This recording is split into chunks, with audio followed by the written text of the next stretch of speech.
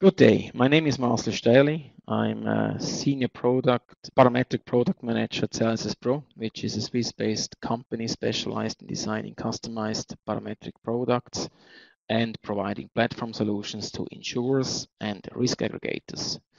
Today, I have the great pleasure to give you some background and insights about the support and services CelsiusPro has been providing under the Kenyan Livestock Insurance Program, in short, KLIP.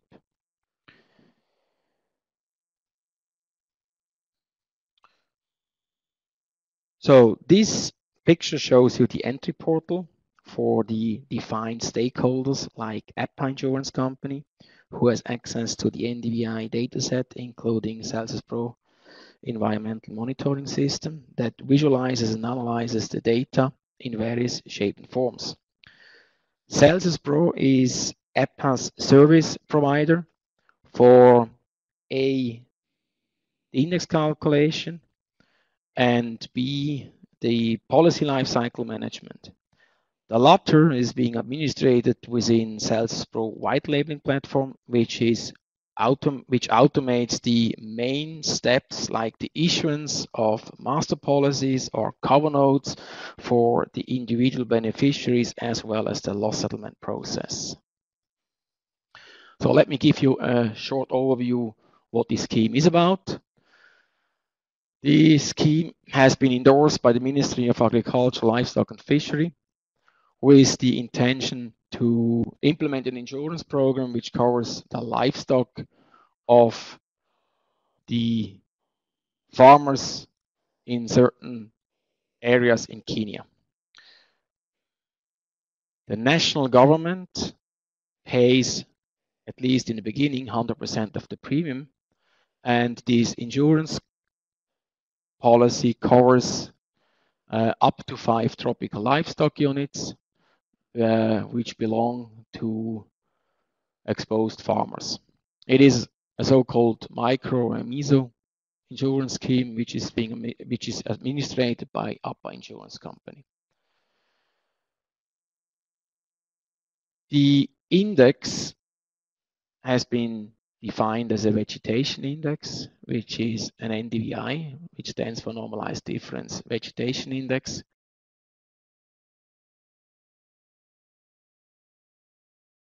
which is an index which which um, estimates, so to speak, the greenness of the grass in a numerical way.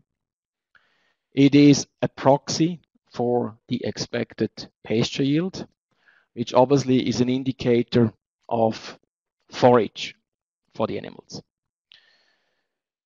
The index and loss settlement and the policy lifecycle management is being provided by CelsiusPro.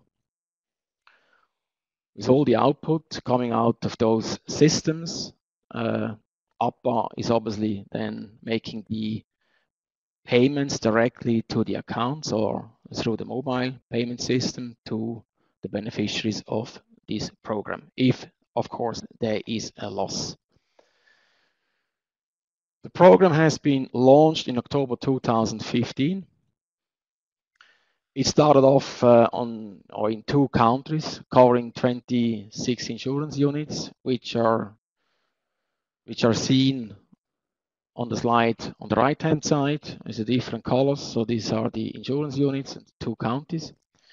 The policy is being designed to cover the full 12 months, which is then being split um, into short rains and long rains.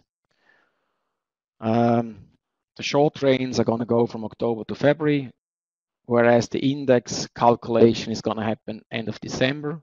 And for the long rain, which goes from March to September, where also the index calculation is being uh, done in the middle, so to speak, in June here. The cover, the, the, the, the program has been covering uh, 5,012 farms in the first year. It was a success, and obviously the government decided uh, to um, expand the program or renew the program. It expanded it uh, to from two to six counties, now covering 17 insurance units.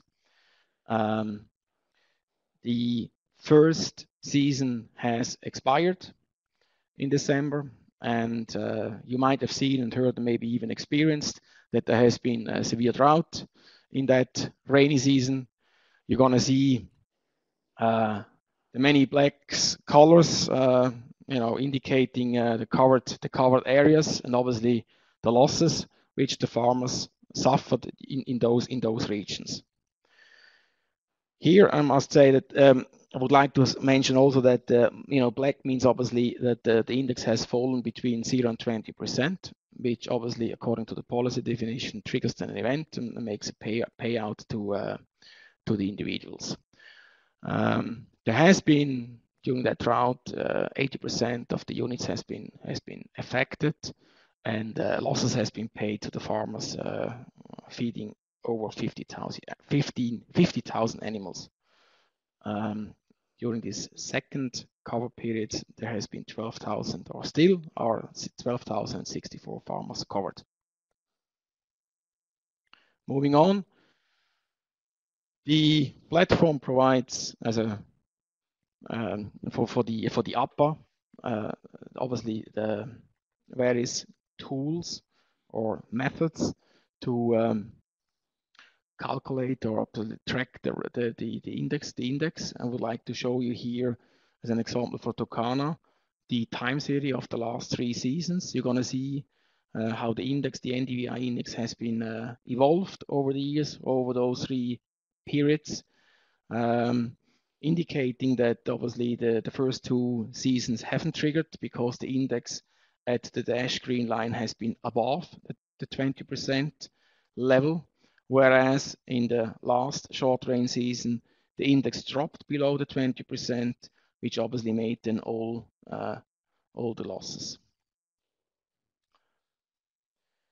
Another way to, um, to see the, uh, the, the past conditions of the insured seasons or units is in the way as you can see here, which is uh, nicely visualized uh, in all the covered areas. You can actually, you know, go back in the beta in the database uh, back to whenever the index started into around 2001, and see um, uh, the various uh, the various settlement of uh, of the indices in, in in the different insurance units. Coming to the end, and lessons learned recommendation, as you have seen, um, the visualization is obviously a powerful tool and uh, obviously also promotes and helps the education understanding amongst the amongst the uh, the various stakeholders involved in the in the design and uh, implementation of such programs. So the stakeholders going to get access to that that data, have their own logins, going to go in the system, can actually see, you know, uh, for further product design, you know, how the thing has been evolved in the past, but obviously can also see how the index is currently evolving by tracking it uh, on a day-to-day -day basis, for instance. The platform solution minimizes the operational risk and increases efficiency. So you can imagine that uh, there are many policies being issued and obviously also these cover notes, as I mentioned before, that needs to be notified to the, uh, the beneficiaries. So that all comes out of the system and obviously uh, makes the whole, the whole, um, the whole process very efficient. I'd like to mention that uh, if you're going to set up a program like this, that it is important that not just uh, uh, you know comes from the donor, that the intention comes from the donors or the private, but also the government is being involved in the beginning. So it needs to be that kind of collaboration mentioned earlier, that um, uh, that those various stakeholders uh, need need uh, uh, need to come together and obviously promote uh, and obviously at the end of the day implement such a program. The product design has been has been done in a very smart way. I would say, as I mentioned before, it is has been designed with the intention such that the index is going to settle in the middle of a season. That obviously gives uh, the government uh, immediate access to cash, buying forage, and obviously with that they can avoid paying then the dead animal at the end. So that is a very good a very good thing the way it has been designed. However, the loss payment doesn't guarantee that uh, forage is being available after event uh, in a severe situation like the one experienced uh, last season.